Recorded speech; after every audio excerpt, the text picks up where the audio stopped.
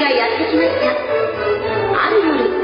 小さな女の子がサンタクロースに手紙を書きました。サンタさんへ私に会いに来てください。クリスマスの夜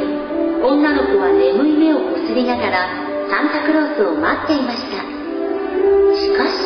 星たちが瞬く頃女の子は眠りについてしまったのです。サンタクロースに会えないまま時は過ぎ女の子しい女性になりました